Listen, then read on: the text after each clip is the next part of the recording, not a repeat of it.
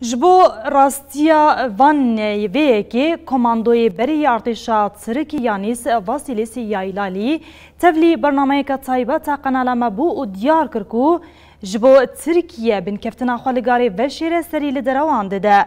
Komandoyê berî artêşa Tirk Yanîs Vasîlîs Yaylalî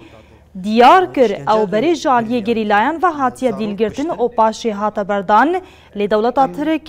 dozek ser wî vekir.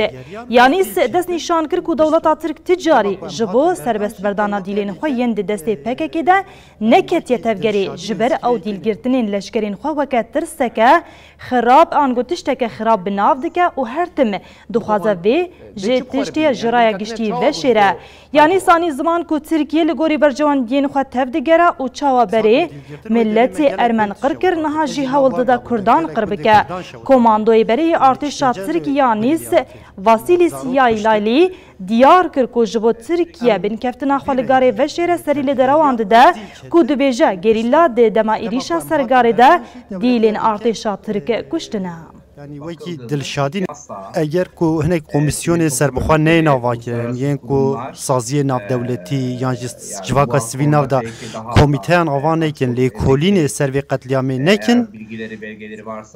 û tu belge û tu lêkolînên ku ser vê yekê neyê kirin dewleta tirk wê ser vê qetlîamê bigire